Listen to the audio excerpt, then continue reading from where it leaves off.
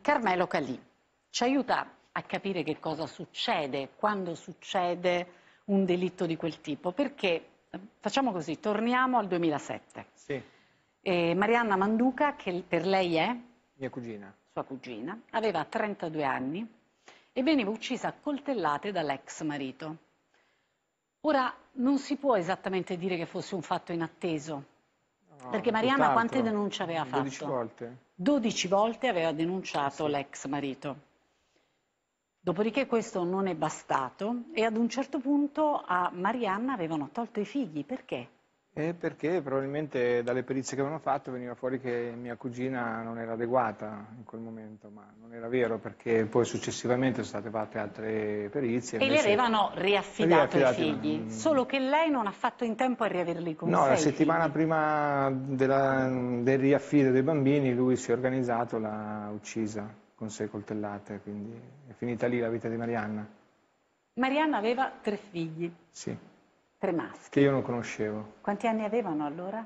6, 4 e 3, quasi, quasi 3. Come si chiamano? Salvatore, Carmelo e Stefano. E lei a sua volta aveva tre figli. Sì. Riccardo, Samuele e Matteo. E a Tutti quel punto maschi. lei ha pensato adesso facciamo una squadra di calcio.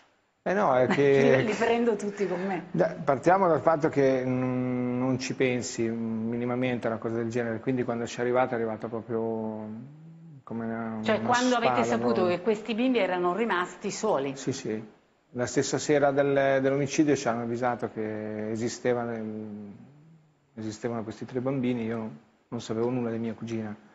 Quindi abbiamo preso atto di questo e nell'arco di poche ore ci è stato dato, ci è stato dato l'affido congiunto con Senigallia. Quindi E abbiamo fatto questa decide? scelta. Cioè, lei ha parlato anche con i suoi bambini, lo ha deciso con sua moglie. Non abbiamo avuto tempo di fare tutto questo, l'organizzazione è stata quella di, di pensare, di portarli su, quindi nel più breve tempo possibile. Noi il, il 3 sera avevamo già la certezza di portarli a casa, il 9 mattina eravamo a Palagonia a portarli indietro, quindi non c'è stato modo di organizzarsi, di- di- di- di essere preparati soprattutto, perché Come stavano? mm, non proprio bene, erano un po' lasciate un po' allo stato brado. Lei consideri che Stefano ancora stava dentro una, una sorta di, di box dove col pannolone addosso, quindi questo era lo stato in cui vivevano i ragazzi.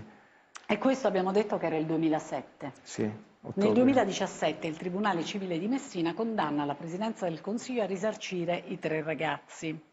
Eh, circa 260.000 euro, Sì. Poi diventeranno con gli interessi un po' più 3,41. di 3,41.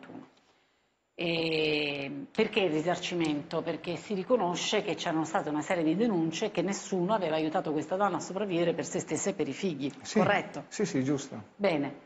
Dopodiché cosa succede? E dopo probabilmente c'è stato un buio totale in questo ultimo anno e mezzo perché non si è capito per quale motivo in appello hanno deciso di, di tornare indietro, quindi annullano, sostanzialmente hanno annullato la sentenza perché comunque sia eh, dalla... E hanno detto ridateci i soldi i indietro. soldi Lei che ci ha indietro. fatto con quei soldi? Noi abbiamo investiti in un appartamento dove io personalmente ho lavorato, quindi ho ristrutturato tutta la casa per realizzarci un B&B all'interno e oggi il nostro sostentamento è quello perché Beh, anche perché siete un momento otto persone e lei in questi Sì. dieci, no, sono ormai 12 anni si 12 è anni, occupato sì. di questi bimbi.